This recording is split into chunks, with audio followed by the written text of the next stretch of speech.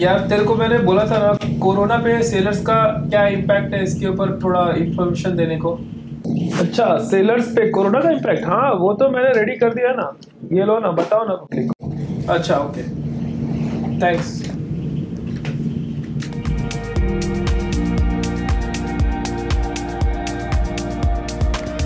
Corona का impact sellers पे? अच्छी बुरी दोनों बातों को हम डिस्कस करेंगे। पहले स्टार्ट करते हैं अच्छी बातों से, क्योंकि वो बहुत ही कम है। कोरोना में क्या हुआ कि काफ़ी सीनियर लोगों के पास, जिनके पास पैसे की कोई कमी नहीं थी और जिन्हें कोरोना में रिस्क नहीं लेना था, उन्होंने ज्वाइनिंग से मना कर दिया। तो उसका फ़ायदा ये हुआ कि जितने लोग भी प्रमोशन के लाइन में थे, सबका प्रमोशन धड़ाधड़ हो गया। दूसरा फ़ायदा ये हुआ कि कुछ अच्छी कंपनीज़ ने ये सोचा कि यार कोरोना में लंबा कॉन्ट्रैक्ट है तो उन्होंने शिप में जो इंटरनेट डेटा हम यूज़ करते हैं वो डेटा बढ़ा दिया। ऑन एन एवरेज सब कंपनी का अलग होता है। तो उसको about two GB three GB तक कर दिया पर वीक जो कि बहुत ही अच्छा है। लास्ट uh, मेरा पॉइंट है इसको फ़ायदा तो नहीं कहेंगे लेकिन एक तरीके से नुकसान नहीं हुआ। जैसे कि बाकी सारी इंडस्ट्री रुक गई और लोगों के जॉब खराब हो गए और उन्हें कुछ इनकम का सोर्स नहीं था। तो शिपिंग में ऐसा नहीं हुआ। शिप सारे चलते रहे और रुके भी।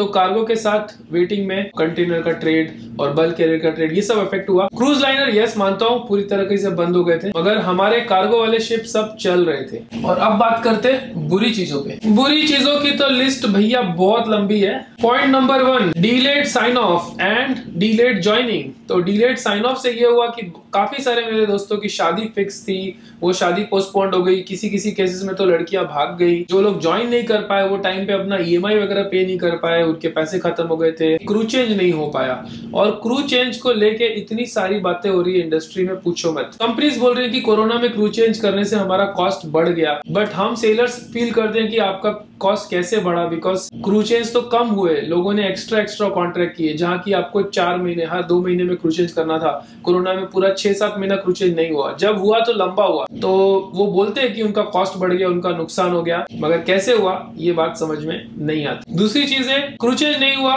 तो शिप्स पे जो इंस्पेक्टर्स आते हैं, जो सुपरिटेंडेंट्स के विज़िट आते हैं, जो ऑडिट्स होते हैं उसके जो ट्रैवल का खर्चा होता है ऑडिटर्स को पे करना पड़ता है, ये सारी चीज़ें रिमोटली हुई और कोई शिप पे नहीं आई तो इससे भी तो कंपनी का पैसा बचा, लेकिन हार्डली कोई कंपनी बता रही है कि हमारा ये फ़ायदा हुआ कोरोना में। एक भी फ़ायदा कोई कंपनी नहीं बता रही, सारे के सारे सिर्फ़ नुकसान ही बता रहे ये तो पक्का झूठ बात है भाई, ऐसा कैसे हो सकता है कि कोरोना में सिर्फ़ कंपनीज़ का लॉस ही हुआ लॉस ही हुआ लॉस ही हुआ, फ़ायदा हुआ ही नहीं। क्योंकि भाई, कोई भी शिप टैंकर एटलीस्ट मैं तो नहीं जानता कि विदाउट कार्गो के खड़ा हो और उसका इनकम नहीं चल रहा इनफैक्ट फ्रेट रेट काफ़ी हाई थे। तो ये सारी चीज़ें कोई भी कंपनी अपने मेल में हाईलाइट नहीं करती। वो सिर्फ़ अपने नुकसान नुकसान नुकसान बताती है और सी फेयर्स का गला दबाना चाहती है सैलरी कम करना चाहती है टर्म्स ऑफ़ कंडीशन चेंज करना चाहती है और हर तरीके से ये बताना चाहती है कि ओनर्स का कोरोना में नुकसान हो गया। तो ये ऐसे करना है, वैसे करना है। यार 2008 के बाद कभी फ़ायदा हुआ ही नहीं किसी शिप को। ये लॉस में ही चला रहे दस बारह साल से। सारी शिपिंग कंपनी में लॉस ही लॉस हो रहा है लॉस ही लॉस हो रहा है। कैसा बिज़नेस और इतना लॉस हो रहा है तो बंद क्यों नहीं करते? फिर भी चलाते जा रहे हैं। तो यार बिलीवेबल तो नहीं है। दूसरा सबसे बड़ा लॉस ये हुआ no family joining family joining अभी भी पॉसिबल नहीं है काफ़ी कंपनीज़ में। फैमिली ज्वाइनिंग स्टॉप तो इन्होंने तुरंत कर दिया। जैसे ही कोरोना का रिस्क आया इमीडिएटली इनका नोटिस आ गया सब जगह की नो फैमिली ज्वाइनिंग बट अब जब चीज़ें नॉर्मलाइज हो रही है, अब वैक्सीनेशन हो रहा है तो कोई ये बात नहीं कर रहा है कि अब फैमिली ज्वाइनिंग को रिज्यूम कब करेंगे, कैसे करेंगे। एटलीस्ट एक अपडेट तो बनता है ना भाई कि हम लोग सोच रहे हैं, ये वो कुछ तो हमारे फेवर में बातें वो सब भी तो हमें बताना चाहिए, लेकिन ऐसा कोई भी इंफॉर्मेशन नहीं आ रहा। और जैसा कि कुछ देर पहले मैंने ऑलरेडी मेंशन किया क्रू चेंज का हिसाब से ये लोग बोल रहे खर्चा बढ़ गया कॉस्ट बढ़ गया तो ये अपने टर्म्स एंड कंडीशन में और हमारा गला और दबा रहे थोड़ा सा यू नो बेसिक कम कर देंगे ट्रैवल कम कर देंगे, ये कर देंगे, वो कर देंगे, यहाँ से मतलब जहाँ से भी सौ डॉलर भी बच सकता है, वो सब चीज़ें ट्राई कर रहे हैं दोस्तों। तो अगर आप लोग अभी ये ज्वाइन कर रहे हो, बच्चे ने भी ये सोच के कि सैलरी वगैरह बढ़ेगी तो ऐसा कोई इंडिकेशन तो नहीं लग रहा है। सैलरी जो है, वही रहे। बड़ी बात है। और कंपनीज़ ने बड़ी स्मार्टली क्वारंटीन पीरियड है, जिसमें कि सी फेयरर्स शिप से आता है तो क्वारंटीन में रहता है सात दिन, दस दिन। और सिमिलरली ज्वाइनिंग के पहले भी हम एक दो दिन क्वारंटीन में रहे। उस टाइम पे बड़े स्मार्टली हमें कोई पैसा पे नहीं किया गया। मैं ऑलरेडी अपने एक दो सुपरिटेंडेंट से पूछ, सुन चुका हूँ और हमें सर्कुलर भी आया था क्योंकि कोरोना है तो आप लोग केयरफुल रहो, कोई इंजुरी ना हो, जहाज़ पे ये ना हो, क्योंकि यू नो मेडिकल हेल्प नहीं मिलेगी। बट ये क्या बात हुई medical help is a human right जो की कोरोना में सी फेयरर्स को नहीं मिला। क्योंकि कोरोना में कोई भी मेडिकल इमरजेंसी हो जाए, कुछ भी हो जाए, किसी भी पोर्ट में लोग सी फेयर को एक्सेप्ट नहीं कर रहे थे। कार्गो उन्हें चाहिए जो हम कैरी करके आते हैं। बाकी उनके काम की सारी चीज़ें होनी चाहिए बट जो भी हमसे रिलेटेड है, वो सारी चीज़ें बंद करके रखी थी। नेक्स्ट टॉपिक आता है शोरली शोरली अभी भी नहीं है दोस्तों। यूएस वगैरह में शोरली वो लोग अलाउ कर रहे हैं, हमें शोर पास दे रहे हैं। अगर हमारी कंपनी का पॉलिसी है कि नो शोरली कोई बाहर नहीं जाएगा तो शोरली बंद करने में तो आप लोग बड़े फास्ट थे। जैसे ही कोरोना का रिस्क आया, तुरंत बंद कर दिया आपने, जो की सही किया। शोरली स्टार्ट करने की तो बात करो एटलीस्ट कर नहीं रहे तो एटलीस्ट मैसेज तो भेजो की हमारा ये प्लान है इस महीने के बाद। कुछ तो मतलब यार जेल बना रखा है। इंसान साइन ऑन से साइन ऑफ़ तक शिप पे। नो श्योरली नो रिक्रिएशन और हम लोग के शिप पे तो यार ज़ीरो अल्कोहल पॉलिसी होती है। बंदा गेट टुगेदर करे या क्या करे मतलब बहुत जो भी है टीटी वगैरह जिम यही सब है। तो मतलब वेलफेयर की सिर्फ़ बातें कर रहे, थोड़ा सोचो तो सही। रियली में सोचो वेलफेयर कैसे बढ़ाया जाए। तो एटलीस्ट अगर आप ये बोलते हो कि नहीं, अभी भी कोरोना का रिस्क है, हम आपको श्योरली नहीं जाने देंगे। अग्री लेकिन जैसे आप बाकी की चीज़ें क्रू चेंज का हमें अपडेट दे रहे हो, वैसे इन सब चीज़ों का भी अपडेट दो ना,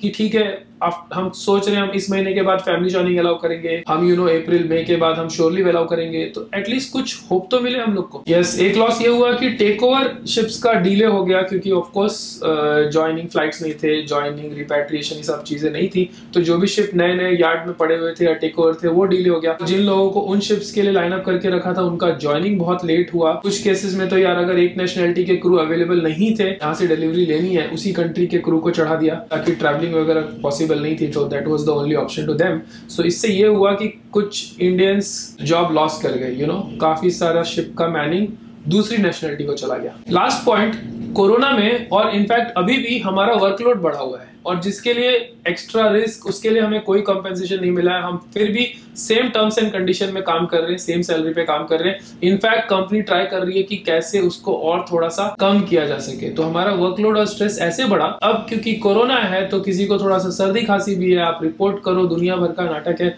किसी को नॉर्मल कोई चीज़ है तो मेडिकल हेल्प नहीं मिलेगा उसको।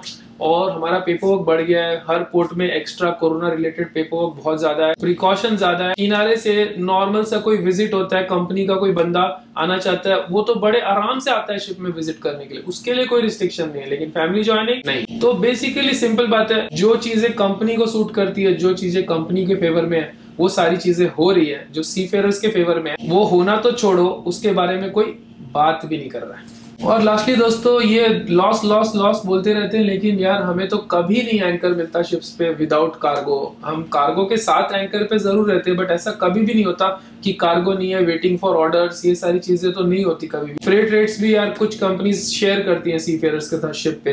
तो उसमें भी हमें दिखता है कि काफ़ी प्रॉफिट हो रहा है. तो ये लॉस लॉस लॉस पता नहीं क्यों बोलते रहते हैं.